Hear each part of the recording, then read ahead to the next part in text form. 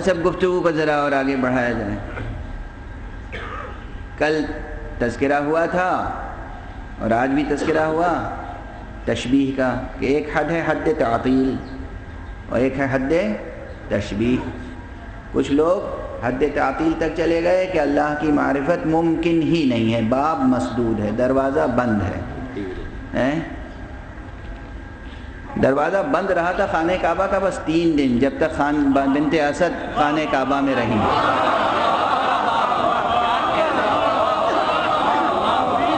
तीन दिन बंद रहा था। खोलने की कोशिश की गई, किसी से खुला नहीं। ये तसरुफ था अहलुल बैत का।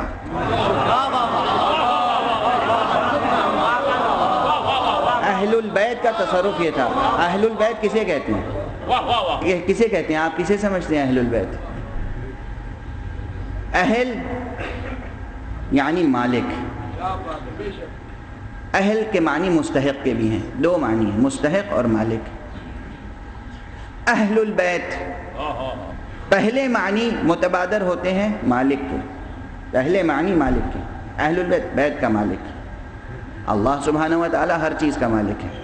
खान काबा का मालिक भी हक सुबहाना व ताली है। अब वो अगर कोई शय किसी को दे दे।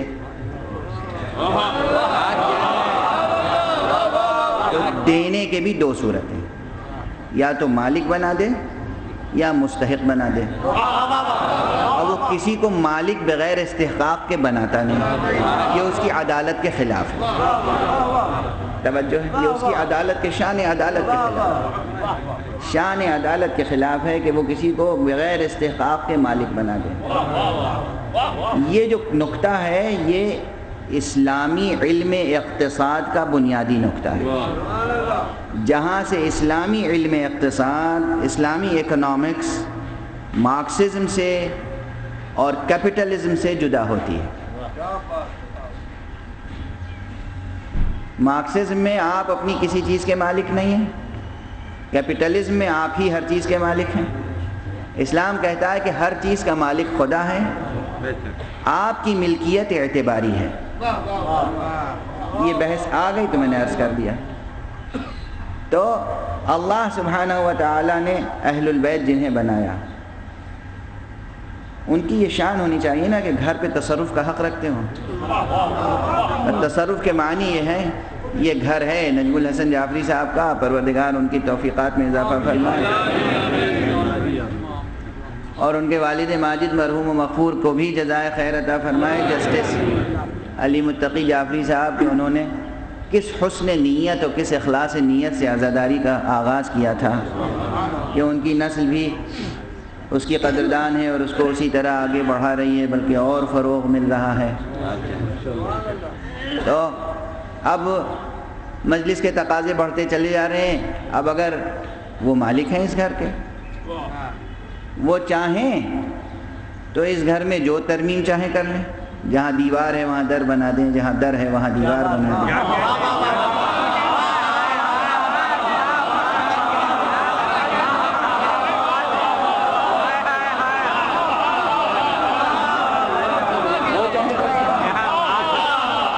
अच्छा ये तब्दीली टेम्परेरी भी हो सकती है।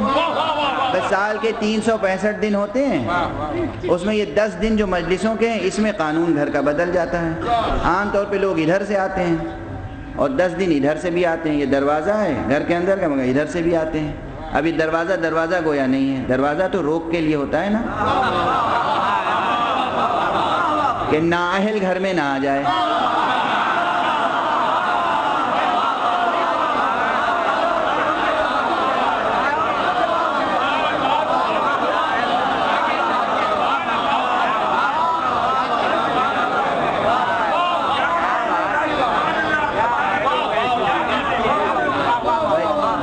दरवाजे की एक सिफत ये भी होती है।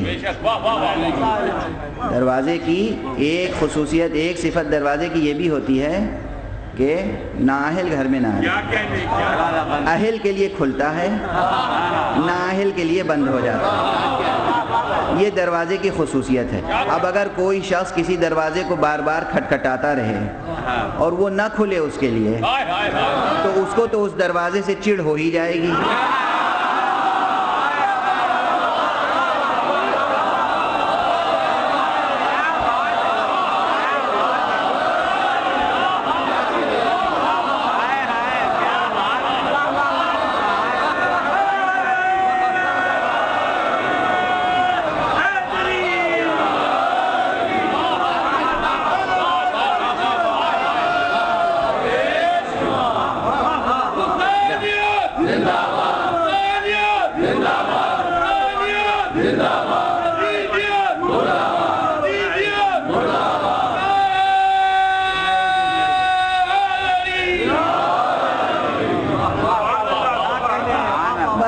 दरवाजे की हो रही दरवाजे में क्या क्या खसूसियत होती है? दरवाज़ा लगाया ही क्यों जाता है? हुँ? तो जो मालिक है, वो जब चाहे दीवार तोड़ के दरवाज़ा बना ले, दरवाज़ा बंद करके दीवार कर दे। जब जनाब फातिमा बिन तहसद खाने काबा में थी तीन दिन तक तो दरवाज़ा बंद रहा। वो दर दीवार बन गया। तो बस तीन ही दिन के लिए बंद हुआ था, इससे ज़्यादा नहीं।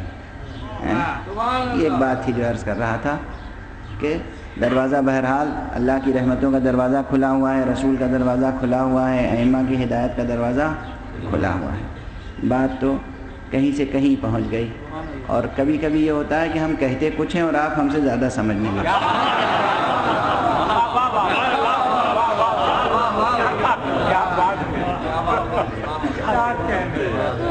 बात को समेटने की कोशिश कर रहा हूँ कि तशबीह, बात ये थी कि तशबीह के शुबह को दफ़ा किया जाए, लेकिन अब वक्त जो है वो बिल्कुल ख़त्म हो चुका है। तकरीर का वक्त बिल्कुल ख़त्म हो चुका है। चूँकि आजकल 10 मिनट बाद तकरीर शुरू होती है, इसलिए 10 मिनट बाद ख़त्म भी होती है। लेकिन बहरहाल, मेरी कोशिश ये है कि वक्त के हदूद में गुफ्तु ख़त्म हो जाए। कुरान मजीद में बाज़ ऐसी तरकीबें और ऐसे कलिमात और ऐसे अल्फाज आए हैं, जिनसे तशबीह के नज़रिए को तकवीत मिलती है। मसलन अल्लाह के हाथों का ज़िक्र है। हाथों ही का नहीं, पहलू का भी ज़िक्र है। जम्बुल्लाह का ज़िक्र भी। चेहरे का भी ज़िक्र है, वजहुल्लाह का भी ज़िक्र है। और अर्श का भी ज़िक्र है। तो इन तमाम अल्फाज व कलिमात से बाज़ हजरात ये समझते हैं कि वो हमारा ही जैसा है। लेकिन सादा तौर पर अब, बस सादा तौर पर जुमला अर्ज़ करके आगे बढ़ रहा हूँ, तफसील बाद में इन वक्त ख़त्म हो गया। आपने गुफ्तु का रुख जो है, वो कहीं और पहुँचा दिया। तो अब गुफ्तु को समेट लूँ। ज़बान में इस्तारे भी होते हैं। ज़बान में मजाज भी होता है। और ये लफ्ज़ मजाज भी उर्दू में अजीब व गरीब है। उर्दू में तो मजाज को भी मजाज कहते हैं। फ़र्ज़ कीजिए कि किसी को मैंने इजाज़त दी है कि आप मेरी तरफ़ से ये काम कर लें तो वो है मजाज। लेकिन उर्दू में क्या कहते हैं? मैं उनकी तरफ़ से मजाज हूँ। यानी गोया वो हकीकत है मैं मजाज हूँ।